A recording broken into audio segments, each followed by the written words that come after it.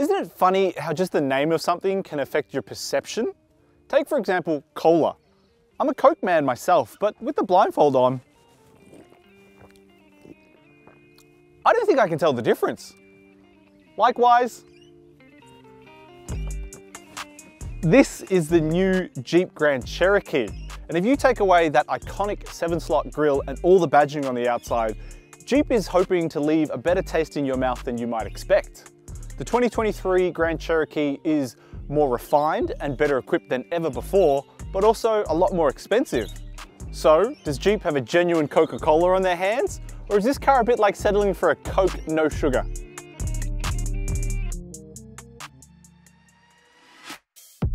There's no getting around the fact that this new generation Jeep Grand Cherokee 5-seater is a lot more expensive than before. We're talking $17,500 more expensive when comparing base car to base car. And while that price rise does ease a little bit the higher up you go, in the year of our Lord 2023, that means that the entry-level Night Eagle is priced at $77,950 before on-road costs. The mid-spec Limited is priced at $83,950, an increase of $9,500, while this top spec for now Overland I have with me here comes in at just under $100,000. Its price tag of $98,450 is an increase of $14,000 from before. And while some of you might balk at the fact that the Grand Cherokee is way more expensive than before, at least Jeep has thrown in the whole kit and caboodle when it comes to equipment making at least this pill a little easier to swallow. Standard equipment starts with 20 inch alloy wheels, leather and suede seats, power adjustable front seats, a powered tailgate, LED headlights, heated front seats, a heated steering wheel, a 10.25 inch digital instrument cluster, keyless entry and push button start. There's also a 10.1 inch multimedia touchscreen with wireless Apple CarPlay and Android Auto, making smartphone mirroring so easy. Stepping up to the Limited adds full leather seats, a heated second row, cooled front seats, interior ambient lighting, and an uprated 9-speaker sound system with active noise cancelling. Finally, the top tier Overland like we have here scores Nappa leather interior, cooled rear seats, a hands-free tailgate, a panoramic sunroof, and chrome touches for the exhaust and side seals. Being a Jeep, this top spec Grand Cherokee Overland also has the brand's QuadraTrac 2 active 4x4 system with Selec-Terrain and air suspension with adaptive damping. This means you can adjust between different drive modes like sand, mud, rock, auto, and even sport. Honestly, it's an equipment list that you'd expect out of any car in the $80,000 plus price bracket. The equipment list is comprehensive though, and you basically get everything that you could want out of a new car. I will also make special mention of this sound system, which to my non-audiophile ears at least, sounds absolutely banging.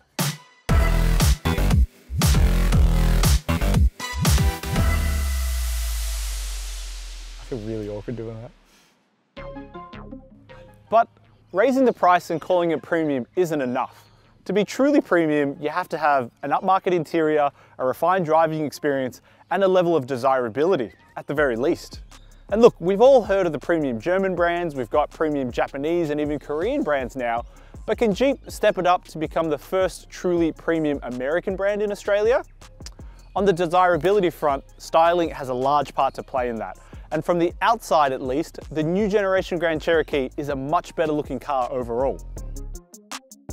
It's much more modern in design thanks to the sharper edges, boxier aesthetic, and more confident stance. Of course, there's the signature 7-slot Jeep grille at the front, but the slim LED headlights and chiseled chin do wonders for the front fascia. Even in profile, the body-coloured squared-off wheel arches and slender glasshouse make it feel much more Range Rover rather than Ford Ranger. Although I think these 20-inch wheels could be an inch or two bigger to help fill out the corners. There is a reason why they're only 20 inches though, and that's because the wheels are wrapped in very, very meaty 265 tires to help when the terrain gets a little bit rougher. And Jeep has managed to pull off a little neat trick here as well. Because in profile, if you have a look at the extended wheelbase, the longer bonnet, and the longer rear overhang, combined with the blacked out pillars and the narrower window line, you can almost, almost see that the Grand Cherokee looks like a jacked up wagon. From the back, slim tail lights, bumper integrated exhaust outlets, and a tiny roof spoiler are the standout features, and it all culminates in a much more mature and confident Grand Cherokee than before. Does that make this car desirable? Well, ultimately, I'll leave you to draw your own conclusions, but if you've ever lusted after a large American SUV like the Cadillac Escalade or Chevy Suburban, well, this Grand Cherokee is probably the closest you're gonna get.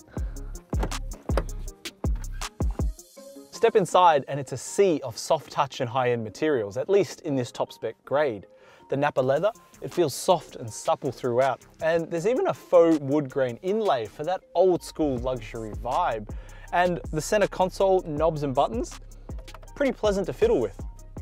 The rotary shifter is also a nice upmarket touch. Made from brushed metal, it feels weighty and has feedback when selecting gears and it's just generally nice to interact with. These seats though, where do I begin? The backrest, it's flat and very unergonomic and there's very little side bolstering, which means while you're driving, you kind of move around a bit. Look, I'm a pretty slim guy, so there are gonna be people out there that are better suited to seats like this, but that's just not me. The saving grace though is that both front seats come equipped with a massage function. And when you've had a long day at work and you're stuck in traffic, who doesn't love a back rub? Overall, is the cabin quality better than before? Absolutely, no doubt about that. But the Grand Cherokee is still held back by a few niggly quality control issues. I have to point out that this test car has a bit of a loose interior trim piece here, and the doors, they don't quite close with that satisfying thud that a premium car should. The new generation Grand Cherokee has grown in every dimension compared to its predecessor, which of course means more space and practicality. Let's start with the boot. In this five-seat configuration, the Grand Cherokee will swallow a massive 1,067 litres of volume. It's more than enough for small families like mine, and even enough for the gear you would need for a week-long camping trip. Fold the rear seats down and we're looking at a capacious 2,004 litres, so be prepared to be called on by friends if they need help moving. And the second row affords plenty of space for passengers too. I mean, just look at how much room I've got. Even the middle seat is usable thanks to the relatively flat floor. Back here, passengers have access to their own climate control system. There's a fold down center armrest. You've got backseat map pockets and four air vents.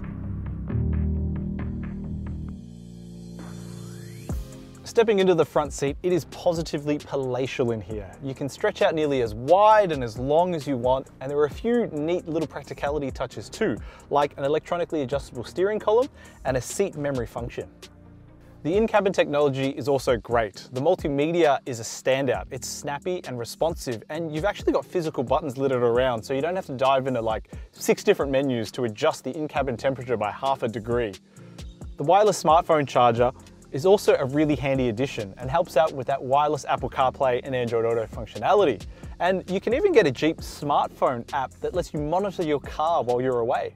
Storage options are also abundant in here. You've got large door pockets that will take large bottles. You've got two cup holders for your cans of Coke. Uh, there's a wireless smartphone charger, like I mentioned before, and there's a two-tiered underarm storage cubby, as well as a generous glove box.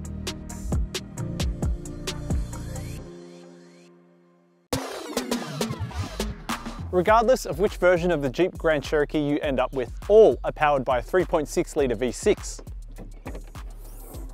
It's actually a carryover engine from the previous generation. And this engine is paired to an 8-speed automatic transmission that naturally sends drive to all four wheels.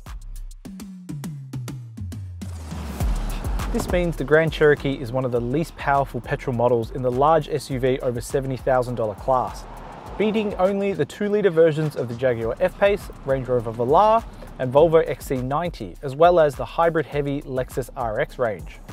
However, the peak torque figure is actually the lowest in class, losing out against rivals that have much newer turbocharged or hybridized engines. Sadly, without a diesel or petrol V8 in the new Grand Cherokee range, all 2023 versions, including the 7-seaters, feature a braked towing capacity of just 2.8 tonnes. And without that V8, it means no performance-focused SRT or Trackhawk variants this time around either. Sad. However, a plug-in hybrid powertrain is due to launch by the end of the year and will sit as the flagship in the Grand Cherokee 5-seater lineup, but full Australian details are still to be finalised. Officially, the Jeep Grand Cherokee 5-seater returns a fuel economy figure of 9.9 litres per 100 kilometres. And while that is 0.7 litres per 100 kilometres better than the 7-seat version, with a large car must also come large fuel bills. In my time with the car, I managed to get 16.3 litres per 100 kilometres, mainly thanks to inner city driving. Your mileage, of course, will vary, but there's no doubting the new Grand Cherokee, like many a teenager on Instagram, is thirsty. Jeep has included stop-start engine technology as well as a front axle disconnect feature on this top grade variant to help improve fuel economy. But the Grand Cherokee's figures are still north of rivals that feature smaller displacement turbocharged engines or hybridization. Thankfully, the Grand Cherokee will take 91 RON petrol, helping ease the sting at the Bowser, but its massive 87 litre tank will take a bit to fill. Carbon dioxide emissions come in at 236 grams per kilometre.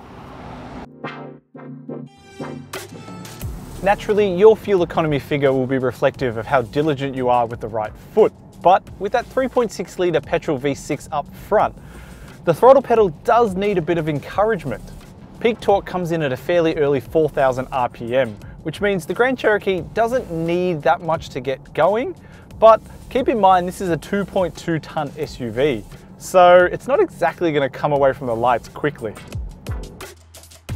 Once you get going though, this engine does a great job at keeping things humming along. And that 8-speed automatic transmission, it kind of just fades into the background as it shifts smoothly and seamlessly. If you need to overtake though, this V6 does get a bit coarse and loud as the revs climb. But when you're just traveling about around town, it's smooth and unobtrusive, if a little antiquated next to rivals that have more advanced turbocharged and hybrid engines. The steering wheel though, it can get surprisingly heavy, so don't skip arm day. And that's probably because this Grand Cherokee is fitted with the 20 inch wheels and 265 wide tyres. This is a little at odds with Jeep's premium aspirations and even on the tamest drive mode setting of auto, it can be a bit of a workout around town. This top spec car is also fitted with air suspension, which should help soak up the bumps of everyday life, but in this regard, it's also a little hit and miss. Small potholes and speed bumps are fine when you're coming at them dead on, but the second you try to tackle a driveway at an angle or one corner is elevated above another, it can rock you about a fair bit. Sport mode can help out in this regard and it actually lowers the car a little bit, but in terms of ride comfort, I think I'd like to see Jeep do a little bit more fine tuning. The trade-off though is that the longer suspension travel means that the Jeep Grand Cherokee will be able to tackle some serious terrain that would make most SUVs cower in fear. Jeep's unique four-wheel drive modes will let you tame even the most terrifying of trails. And while I've not had a chance to put this specific car through its paces, our review of the seven seat version last year proves that the 2023 Grand Cherokee still has what it takes to tackle even the Toyota Land Cruiser and Nissan Patrol when the going gets rough.